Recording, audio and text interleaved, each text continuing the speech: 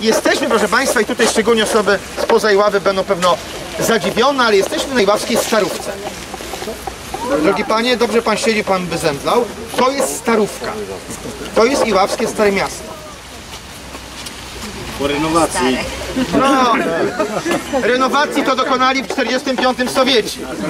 I to takiej dogłębnej. Powiedzieli, jak, zreno, jak renowacja to renowacja i praktycznie do wysokości parteru nam ją e, starówkę zrujnowali. Jak ona wyglądała, będziemy mogli za chwileczkę zobaczyć, ale ja o czym innym.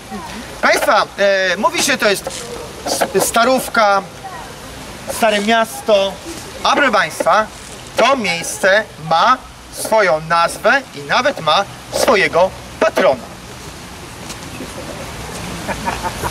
I tu pana mam po raz pierwszy. Pan Dopichaj mieszka tutaj od lat prawie czy ponad 40 i na pewno wie, że jest to plac Bandurskiego. Na tych takich dużych fotografiach Iława sprzed lat, jak starówka iławska wyglądała, proszę bardzo. Potraktujemy to jako jeden z iławskich pomników, którego już nie ma. Hotel Kowalski, to jest ta pierzeje na tym, na tej ławeczce, na tym mureczku, który Państwo żeście. Za tym mureczkiem, tam gdzie mam na co mówiłem, był hotel Kowalski, cała ta pierzeja ciągnąca się, to było wejście na teren e, kościoła. Tu mamy kolejną pierzeję i kolejne zdjęcia Iławskiej Starówki. Miejsce niezwykłe, ponieważ na tym, e, na e, Iławskiej Starówce była trzy hotele. Hotel Zum Kronprinzen, hotel Schwarze Adler i e, hotel Kowalski. Ciekawostka to taka, że właścicielem hotelu Kowalski był Kowalski, Niemiec, Nie a tak, oczywiście, a właścicielem hotelu w Lubawie był niejaki Schmidt, Polak. To są właśnie te, yy, te niesamowite rzeczy związane z terenami pogranicza.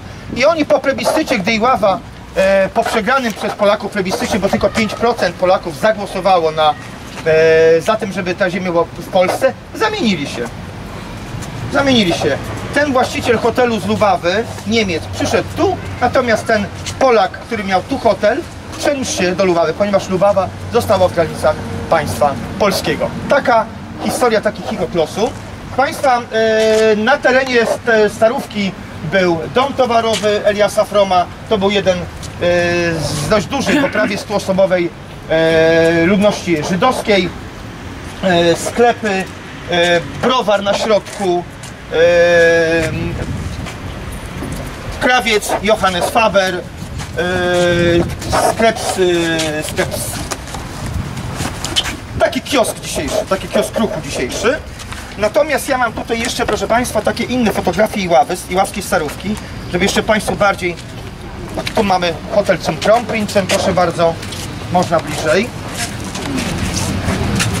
Tu mamy szczyt kościoła i to jest to wszystko, co było na Iławskiej Starówce. Możemy prosić wyżej. Tak. Proszę uprzejmie. Dziękuję bardzo. Duży. Państwa, Iławskie Stare Miasto, było nazywa, i generalnie Iława była nazywana Das Perl of Oberlandes, czyli perła Oberlandu. Bo te ziemie, Państwa, za każdym razem, gdy przyjeżdża tutaj wycieczka i oprowadzam wycieczki, czy z hotelu Tiffy, czy z innych hoteli, e, mieszkańcy są zadziwieni, e, e, wycieczkowicze są zadziwieni, że Iława to, to nie było polskie? No nie! Och nein!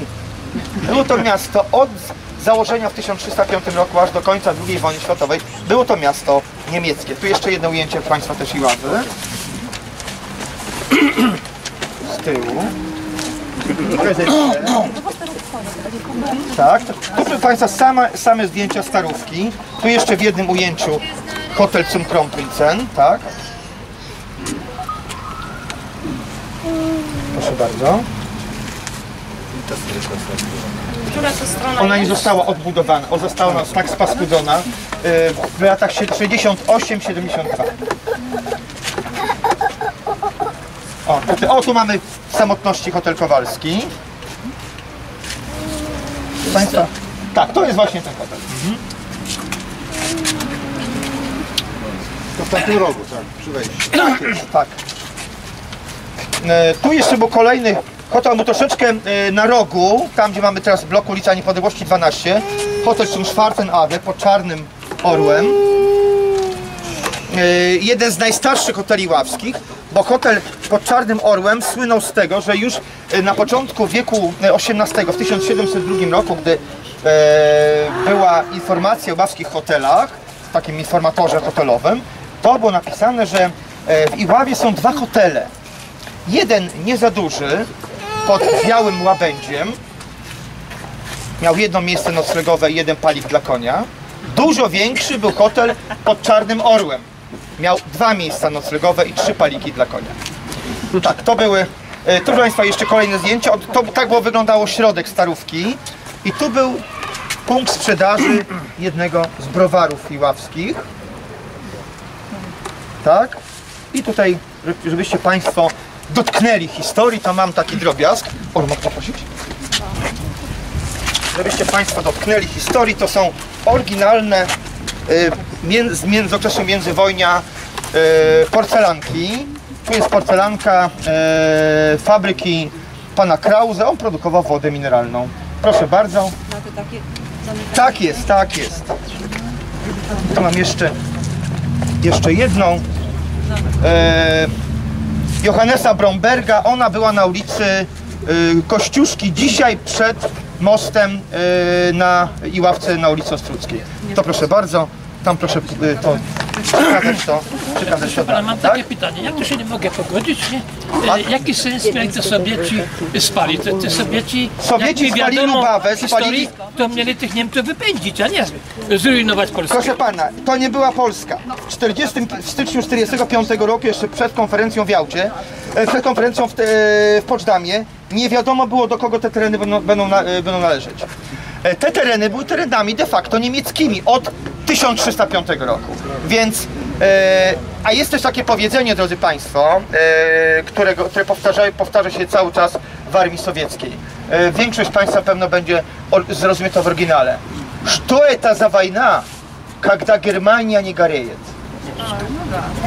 Co to za wojna, Tak, jak хорошо. Niemcy nie płoną? Oczywiście. Więc te, proszę Państwa, na Iławę spadły trzy bomby. Tylko Bomba spadła, ja zaraz pokażę gdzie, na, mamy warsztaty zawodówki. Druga bomba spadła na dworzec i trzecia gdzieś na obrzeżach Iławy. To było wszystko. Lotnictwo rozsowieckie jak atakowało. Walki, owszem, były to bardzo zacięte w okolicy Iławy, natomiast samo miasto nie było bronione. Broniono dostępu do miasta. Wielu Sowietów zginęło, e, natomiast, proszę Państwa, e, samo miasto zostało niszczone już po wojnie. Najpierw je ograbiono, a później Niemcy, zaczę, Sowieci zaczęli je niszczyć. Państwa, I to nie wynikało z żadnej ideologii. Nie to, że to komuniści, że to nie. To nie dlatego, proszę Państwa. To było po prostu... Mhm. Co Państwo chcieliście? Tak? Państwa, ponieważ tak było, tak, poza tym to miasto miało jednego pecha.